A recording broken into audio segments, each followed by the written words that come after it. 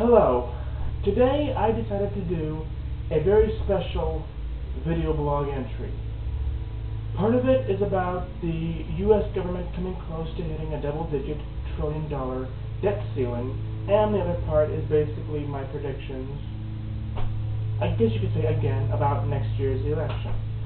Uh, first of all, as it's being reported in the news, the U.S. government will hit a double-digit trillion dollar debt ceiling sometime soon. Um, President Obama has been petitioning Congress to raise the debt ceiling. Now, one solution that's been suggested is to raise taxes for the rich.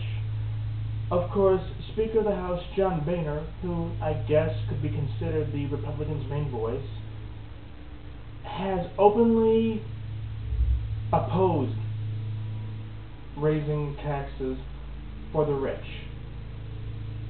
I guess that really shouldn't be surprising, you know, coming from the Republicans, as they only care about the powerful and the rich.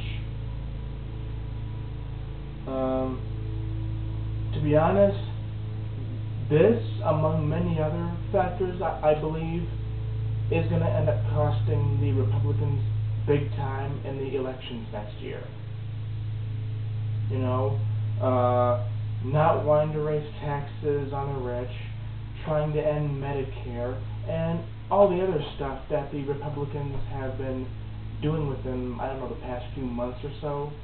I believe all of this is going to cost the Republicans the elections next year.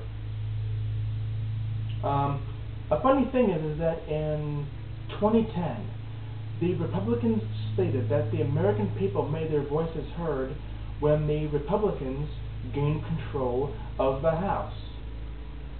Well, I am going to go out on a limb and, and uh, make a prediction right now that the American people are once again going to make their voices heard next year during the elections and return complete control of the government back to the Democrats.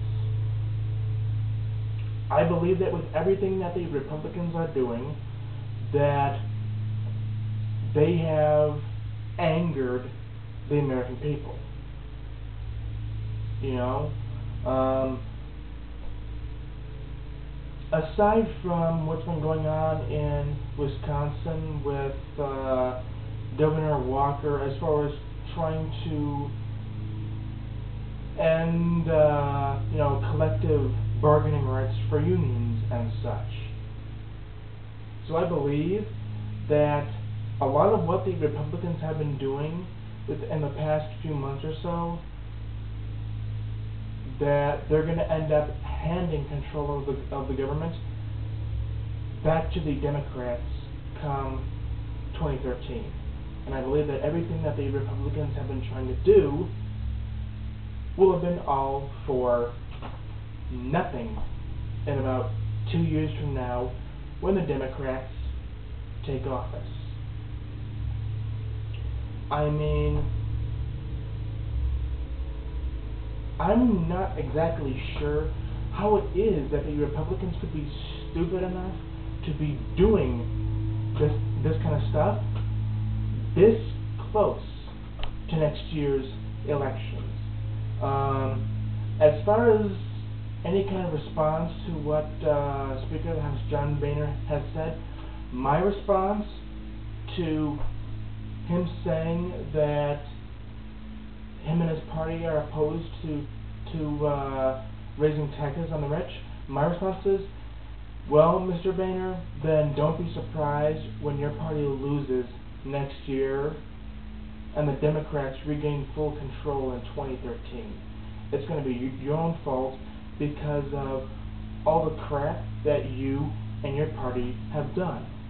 Because everything that the Republicans have done within the past few months, I do believe has very much angered the American people. Because they had expected the Republicans to do certain things when they were elected into office. Well, just like the Republicans allege of President Obama, the Republicans didn't come through on any of the promises that they've made. You know, even with some Tea Partiers having been elected into office. Well, suffice to say, I do believe that there's going to be a new era coming in 2013. Not only because of my prediction that the Democrats will regain full control of the government, but also because I am going to be fully supporting the cause of a newly formed political movement uh, rivaling the Tea Party. Uh, the movement, I believe, is called uh, Coffee Party USA. I do believe that in the long run, given the right situation, the right circumstances, the Coffee Party could very much prove to be a match for the Tea Party. Um, as I said, I will be putting my full support behind the Coffee Party because I believe that they're going to be a, a better driving force behind this country being run right. I mean, it's the thing that a lot of people, uh, I guess, from their point of view, see the Tea Party as being an extension of the Republican Party.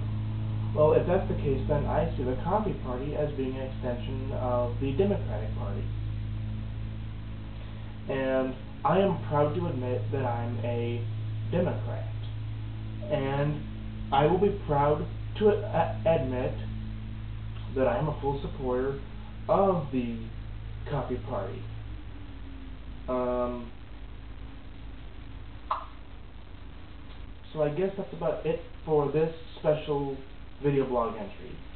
As far as this week's vlog entry, um, I will be giving you some new details about me trying to get my talk shows on the air.